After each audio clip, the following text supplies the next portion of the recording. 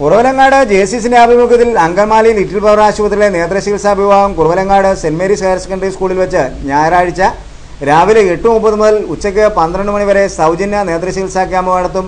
ക്യാമ്പിൽ വെച്ച് നേത്രരോഗമുള്ളവരെ പരിശോധിക്കുന്നതിനും തിമിര ശസ്ത്രക്രിയ വേണ്ടിവരുന്നവരെ അടുത്ത ദിവസം ആശുപത്രിയിലേക്ക് കൊണ്ടുപോകുന്നതിനും സൗജന്യമായി ഓപ്പറേഷൻ നടത്തി കൊടുക്കുന്നതിനുള്ള ക്രമീകരണങ്ങൾ ഒരുക്കിയിട്ടുള്ളതായി ജെ സെക്രട്ടറി എബിൻ പണംകുഴക്കിലും പ്രസിഡന്റ് റോബിൻ എണ്ണമ്പ്രായും അറിയിച്ചു.